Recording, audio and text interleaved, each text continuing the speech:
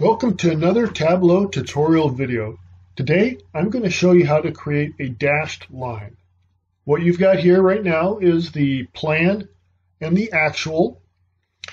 And what you'd like to see is a dashed line for the plan, kind of to differentiate a little bit more. So let's duplicate this chart. And one thing that I often forget is that we can put measures measure values under the rows.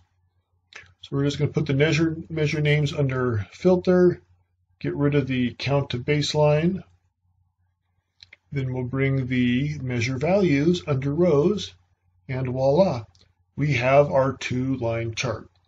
Now to add the dashed line, we're going to bring the plan onto the rows shelf and make sure that the aggregation is the same in both places.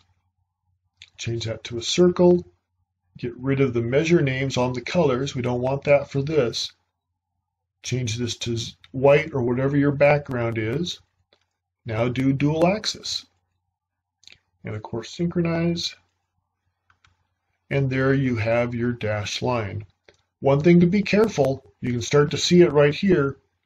If you increase the size because you want bigger gaps, you're really increasing the circle. And now you can start to see it's going over and hiding some of those other items. Thanks for watching.